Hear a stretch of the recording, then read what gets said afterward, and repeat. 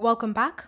In this video, I'll be showing you how to hard reset your Watch Onn Google TV streaming box. So the first step is to ensure that the streaming box is connected to your TV and to a power supply.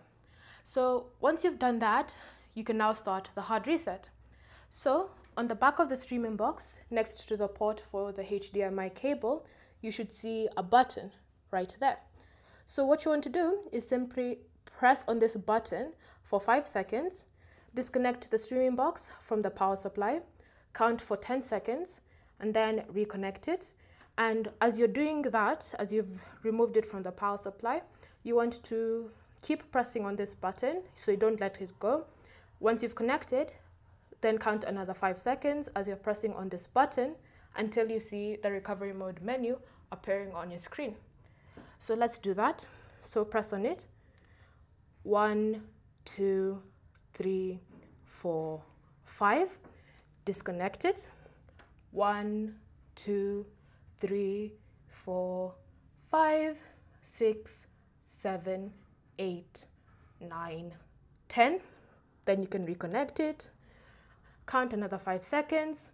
One, two, three, four, five and then just continue pressing until you see the recovery mode menu appearing on your TV screen. So you'll go black and then there.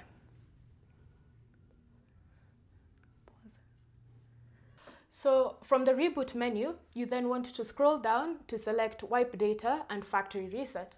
So to do that, again, you need to use the button on the back of the streaming box.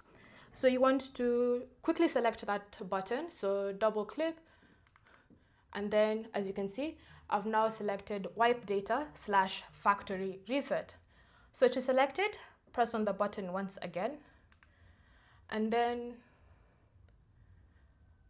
so just go back if you've already skipped it. So press once to select, to scroll down. So let me scroll to wipe data and factory reset. And then once it's selected, you want to long press on it to select it. And then from here, scroll down again and then long press again to select wipe data reset or factory data reset. So once you've done that, you can see it started erasing all the data.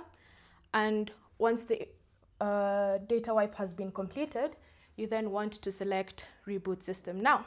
So long press, selected, and then just wait for your system to restart.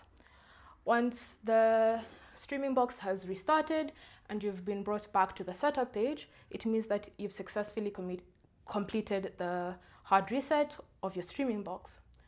Thank you for watching. If you have any questions or comments, leave them down below and we'll get back to you.